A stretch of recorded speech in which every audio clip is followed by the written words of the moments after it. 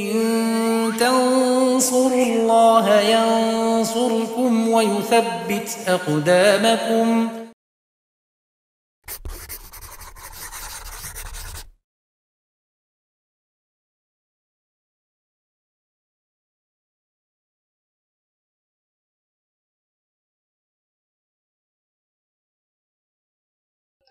Bismillah, alhamdulillah, wassalatu wassalamu ala rasulillah wa ala alihi wa sahbihi wa man tabi'ahum bisanin ila yaumiddin. Amma ba'd.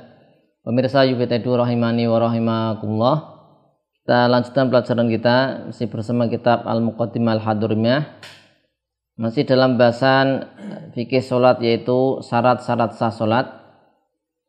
Yang kita sudah bahas di sampai di eh, syarat yang ketujuh ya. Sampai syarat yang ke yang ketujuh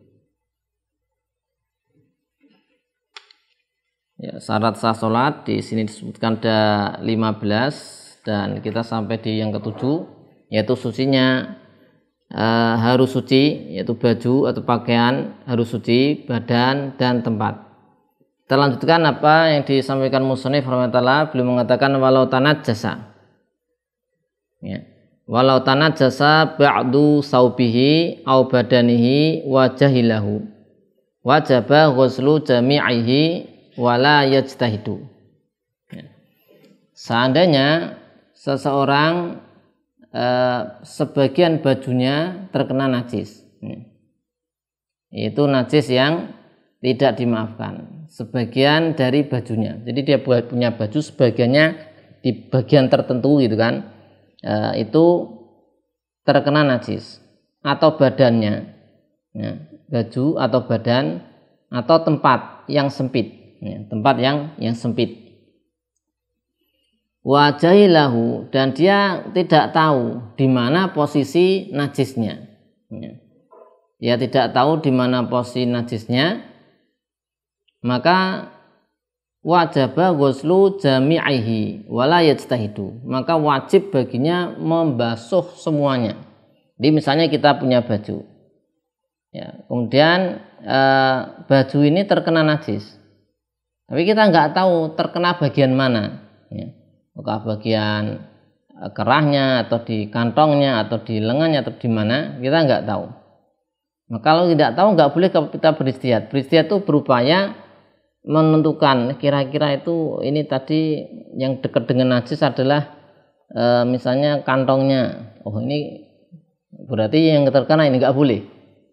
Kemudian yang dicuci hanya kantongnya saja. Atau ini yang dekat dengan najis ini adalah kerahnya, kerah bajunya. Oh ini kemudian dicuci kerahnya aja, nggak boleh.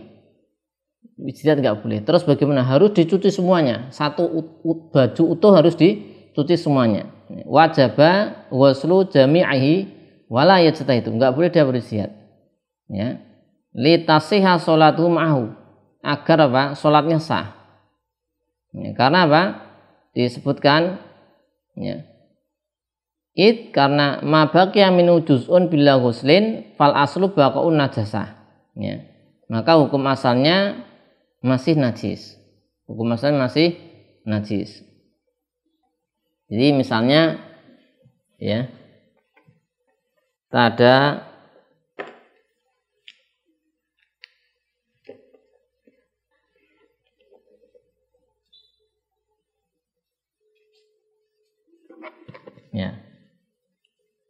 saya ada baju.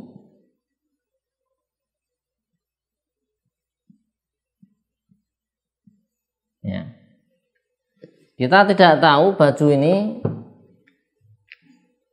Ya, terkenanya di titik sini atau di sini atau di sini atau di sini kita nggak tahu. Tapi kita yakin bahasanya baju ini terkena najis.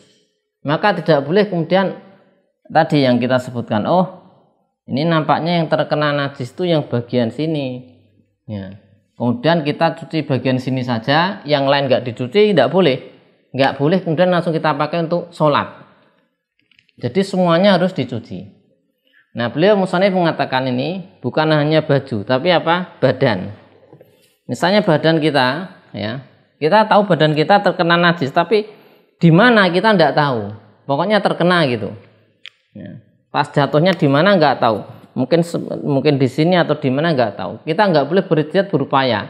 Kira-kira di mana ya tadi yang kenanya gitu. Ya, kita mungkin apa e, tadi e, dekat dengan najis kemudian e, berupaya oh ini sepertinya di bagian pundak. Hanya di pundak saja dibersihkan nggak boleh. Karena ini satu tubuh. Itu harus dibersihkan semuanya.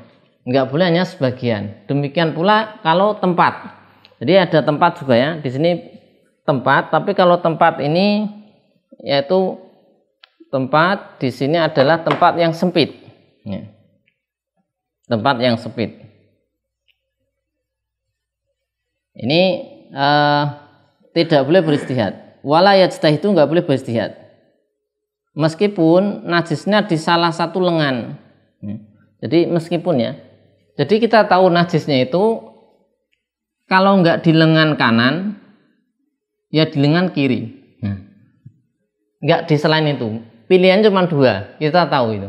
Tapi kita nggak nggak bisa menentukan, nggak yakin entah di lengan kiri atau kanan itu meskipun seperti itu masih ada lengan kanan kiri itu itu nggak boleh beristihad harus harus dicuci toh total ya. ini e, tata cara ketika menemui ada terkena najis di bagian tertentu tapi tidak di tidak diketahui. Alasannya apa? E, bagian yang masih yaitu belum dicuci maka hukum asalnya najis masih najis. Jadi kan misal nih baju ya. baju ini kita cuci yang bagian sini saja.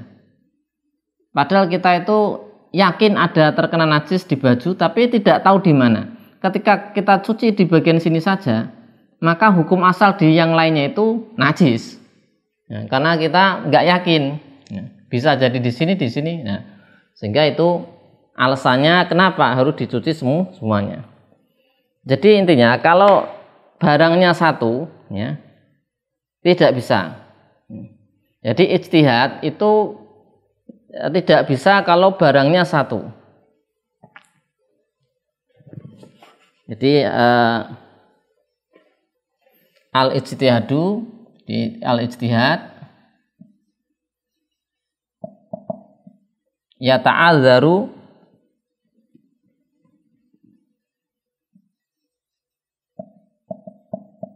ya ta'adzaru fil ain al wahidah fil aini al wahidati ijtihad itu ijtihad itu berupaya menentukan ya pilihan ya, menentukan jadi harus dengan ada tanda-tandanya. Itu nggak bisa kalau objeknya satu. Objeknya harus dua. Di pelajaran apa e, sebelumnya tentang toharoh tentang apa ada dua wadah ya. Nah, itu bisa. Ya dua wadah ya. Dua wadah air. Ya. ada air ada air ya. ada air lagi di bak atau ember nah. Kita yakin ada terkena najis tapi nggak tahu di ember A atau ember B. Maka ini boleh istihad karena barangnya dua. Nah baju barang satu nggak boleh. Kapan boleh? Kalau terpotong. Ya dipotong. Misalnya Eh, kita yakin di salah satu uh, apa namanya lengan. Dan lengan satunya terpotong. Jadi akhirnya ada dua, yang satu di sini, yang satu ada lengan sendiri terpotong. Nah ini baru boleh beristiad. Kita tentukan yang mana ini yang yang terkena najis, mana yang tidak. Tapi selama barangnya itu satu, bendanya satu, maka tidak boleh di situ ada istihad. Ya. Ya, Walau tanah jasa ba'du saubihi au badani wajahilahu wajaba ghuslu jami'ihi wala yajtahidu.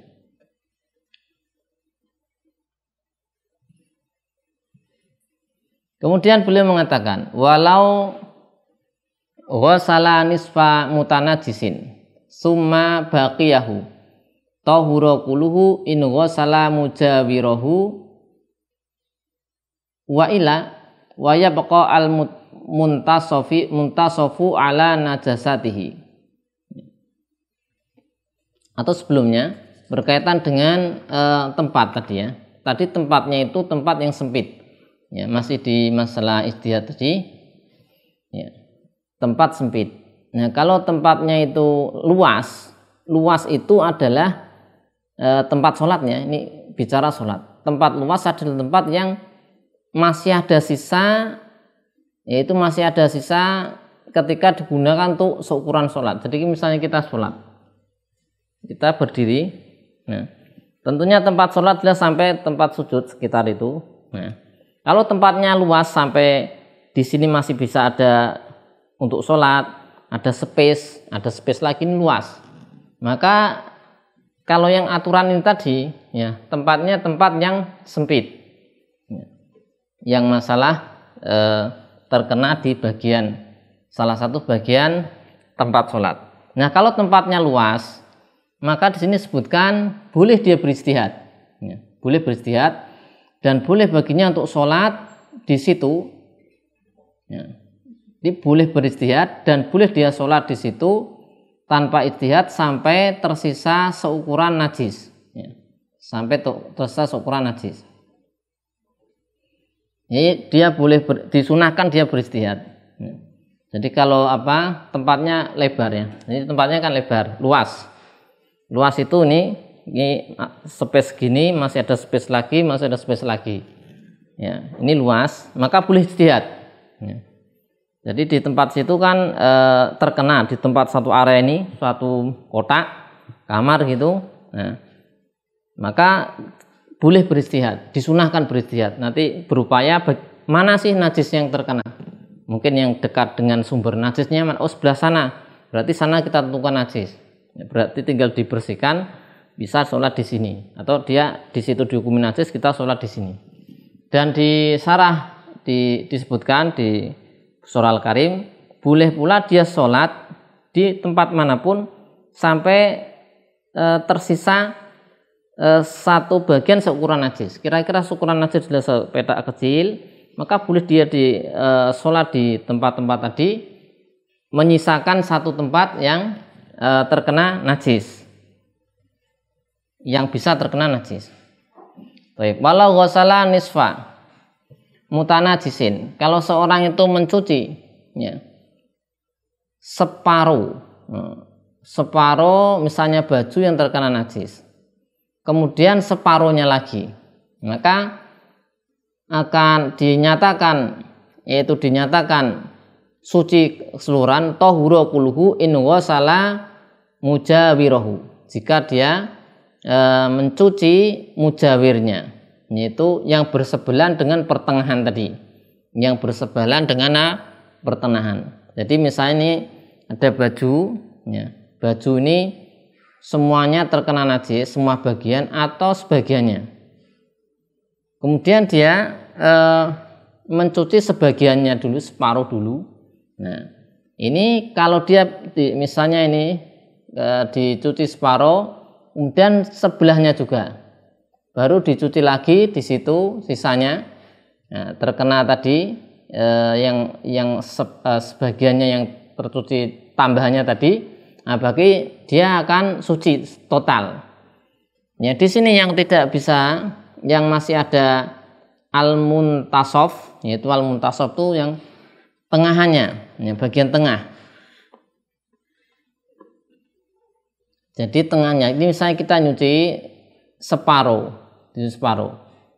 Kemudian dilanjutkan separuh kedua. Nah, yang antara separuh pertama dan separuh pertama yang terakhir dan awal dari separuh kedua ini tengah-tengahnya itu nanti masih najis. Nah, karena karena apa? Tadi disebutkan kalau di sini apa? E, tidak tercuci. Jadi harus dilebihkan separuh baru e, sisanya. Kemudian wala tasihu sholatu man yulaki ba'du badanihi au saubihi najasatan.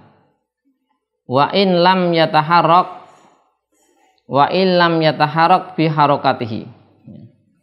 Tidak sah sholatnya orang yang sebagian badannya e, terhubung atau sebagian bajunya terhubung dengan najis. Meskipun tidak ikut bergerak dengan gerakan orang yang sholat tersebut. Jadi kalau terbadan atau baju terhubung, maka ini terhubung dengan najis, maka tidak e, tidak sah. Ya, dia tidak tidak sah.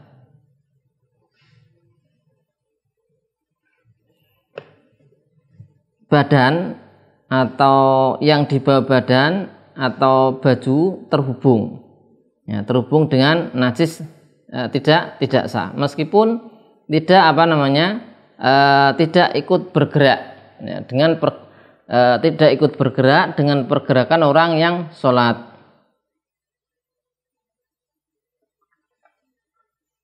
Maka ini seolah-olah dia itu dia bersambung. Ya, dia membawa sesuatu yang bersambung dengan najis. Seolah-olah dia membawa ini eh, di Busra al-Karim disebutkan ya.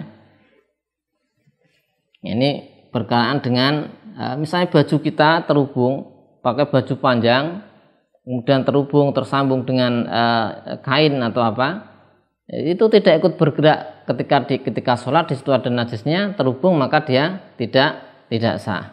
Tidak sah sholatnya orang yang sebagian badan atau bajunya terhubung dengan najis meskipun tidak ikut bergerak. Di sini diberikan e, contohnya seandainya e, seorang ini tertancap e, jarum. Tertancap apa? Jarum. Tertancap jarum di badannya dan jarumnya e, terkena darah yang banyak dan tidak tertutup maka sholatnya tidak sah ya, tidak sah sholatnya jika memang memungkinkan baginya untuk melepas mengeluarkan jarum tersebut jadi jarum menancap di e, daging dan itu jarumnya terkena darah Nah, itu dia tidak sah sholatnya kalau masih ada jarumnya di situ, tidak tertutup. Karena berarti dia e, tersambung dengan jarum. Jarumnya terkena darah. Jadi kalau kita sholat, ini ada aliran darahnya. Tapi nggak teranggap karena di dalam, posisinya di dalam. Nah, ketika jarum itu nancep, nah itu jadi nanti nampak, jadi dia ada jarum, Nah, terhubung dengan kita, jarumnya terkena darah. Nah, di situ kemudian harus dia dilepas kalau tidak apa? Kalau tidak bahaya. Sehingga eh, eh kewajibannya adalah melepasnya. Kemudian wa salatu qabidi qabidi tarafi hablin ala najasatin wa ilam yataharak bi harokatihi. Ya, juga ini tidak sah sholatnya orang yang memegang ya.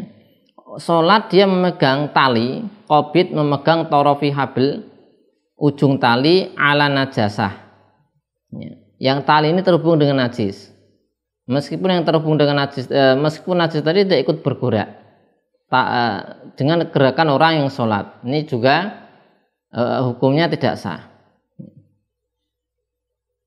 jadi misalnya ya, kita sholat, ada orang sholat. Ini orang sholat, memegang tali. Talinya dipegang. Nah talinya itu mengikat benda najis. Terkena benda najis. Maka yang sholat ini tidak sah. Karena dia sholat terhubung dengan benda yang najis. Lewat tali. Talinya nggak najis, tali, tapi talinya terkena benda najis. Ada benda najis diikat dengan tali. Talinya kita pegang maka tidak sah. Ya. Atau di sini disebutkan dia tidak me, tidak memegang tapi mengikat ya. mengikat atau membawa meskipun tidak dipegang mengikat ya misalnya diikat ya talinya diikat diikat ke baju kita atau badan kita atau e, ditaruh di atas ya, ini e, kemudian terhubung dengan najis atau terhubung dengan sesuatu yang terhubung dengan najis. Misalnya dicontohkan di sini tali tersebut terhubung dengan eh, kalung, ya, kalung. Nah kalungnya kalung kan suci, tapi kalung ini dikalungkan ke anjing. Ya. Jadi ini orangnya sholat misalnya ya, orang sholat, kemudian di, ada tali ditalikan di bajunya atau di badannya, talinya itu terhubung dengan anjing dengan ini, dengan kalung. Kalungnya dipakai anjing. Nah, tali terhubung dengan kalung. Kalungnya suci, tapi kalungnya itu terhubung dengan anjing, maka batal sholatnya. Ya, batal apa? Sholatnya.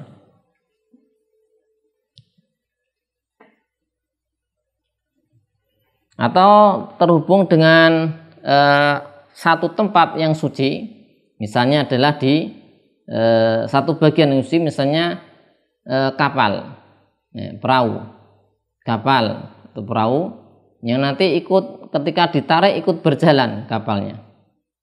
Dan di kapalnya ada najis. Nah ini juga apa? Tidak sah. Jadi talinya itu e, diikat di kapal, perahu. Kapal yang bawa najis. Nah itu kalau ditarik talinya kapal ikut gerak. Nah, ini tidak boleh, tidak sah. Nah ini tadi kobit. Kobit itu kan dia menggenggam, memegang. Sehingga ya, kalau dia itu tidak digenggam, gambarannya adalah diinjak. Ya. Tadi tali, tali diikat ke benda najis. Talinya diinjak orang yang sholat. Ini nggak mengapa karena tidak terhitung membawa. Ya tidak itu tidak terhitung membawa. Meskipun untuk ikut bergerak dengan pergerakan orang yang sholat. Sebagaimana sebagaimana pula di surah al disebutkan kama lau sholat ala bisat mafrush ala najis. Ya. dia sholat di hamparan di bawahnya najis. Maka ini juga tidak mengapa. Karena dia tidak tidak membawa itu namanya. Karena dia menginjak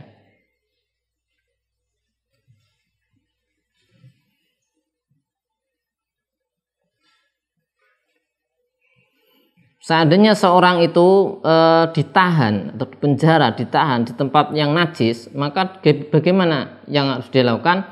Dia sholat di situ menghindari najis seminimal, e, semaksimal mungkin. Dan kemudian e, pokoknya dihindari semaksimal mungkin. Jabhanya jangan diletakkan di tanah yang ada najis, tidak boleh. Terus bagaimana ya dilakukan seperti itu? Nanti ngulang sholatnya, ngulang apa? Sholatnya. Allah alam bisawab. Demikian yang bisa kita sampaikan berkenaan dengan gambaran orang yang badannya atau bajunya terhubung dengan benda najis sehingga menyebabkan sholatnya tidak tidak sah. Sallallahu alaihi Muhammadin wa ala alihi wasallam walhamdulillahi rabbil alamin.